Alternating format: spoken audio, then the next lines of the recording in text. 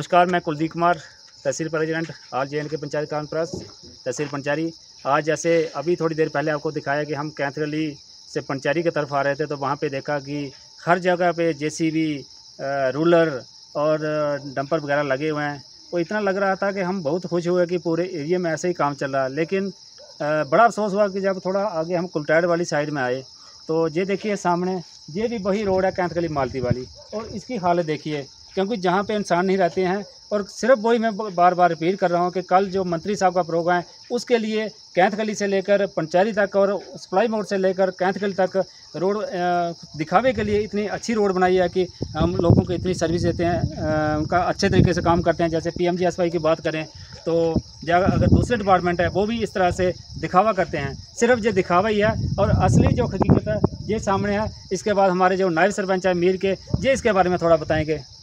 नमस्कार सर, मैं आपको मीडिया के समक्ष ये के बयान देता हूँ आज। ये जो हमारे पीछे जो रोड, जो मालती के लिए जो जा रहा है कैंथ गली से, इसकी बहुत बुरा हाल है। और कल हमारे यहाँ केंद्रीय मंत्री जी आ रहे हैं पंचैरी में तो आपका आपने देखा होगा कैंथ गली से आगे उनके जो गड्ढों को भरा जा रहा है। तो मैं उनको बताना चाहता हूँ, जो ठेकेदार हैं या जो इस डिपार्टमेंट को जो काम करा रहे हैं कि क्या पीछे ये लोग इंसान नहीं है जो रहते हैं जो इतने बड़े गड्ढे हैं, बड़ी मुश्किल से जो है इस रोड को क्रॉस पैदल चलने वालों का तो बहुत बुरा हाल है, गाड़ियों की तो बुरा हाल है ही है।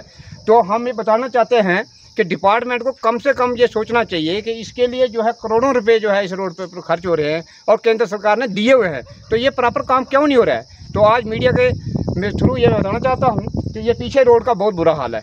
हालाँकि पीछे हम लोग गए थे हमारे साथ जितने पी आर मेंबर थे, पीछे पुल का काम अच्छा चल रहा है। लेकिन ये बीच में जो रोड में जो गड्ढे हैं, लोगों को पैदल चलना मुश्किल हो गया है।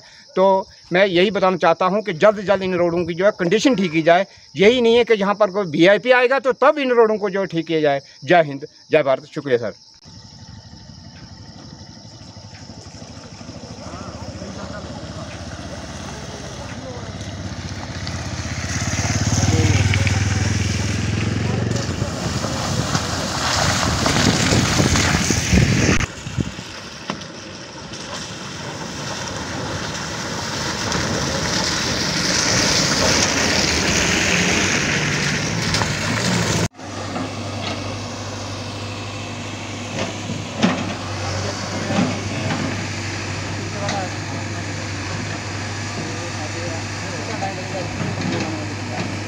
इसका माल आ रहा है पच्चीस सौ। अच्छा। आज क्या तेरह अच्छा।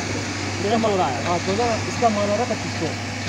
तो पच्चीस सौ अप्रॉक्स मान के चलो एक मंथ हमें इसको लगेगा ट्रस खड़ी करने एक महीना ट्रस उसके बाद उसके बाद पंद्रह दिन लगा मैं क्या आगे फटियाँ रहेगी फटियों में काम होता है जैसे फ़िलहाल तो एक डेढ़ महीना भी मुझे ठीक है हमारी ये कोशिश एक डेढ़ महीने के अंदर अंजाम इसको इसको और इसका फ़ायदा करना है।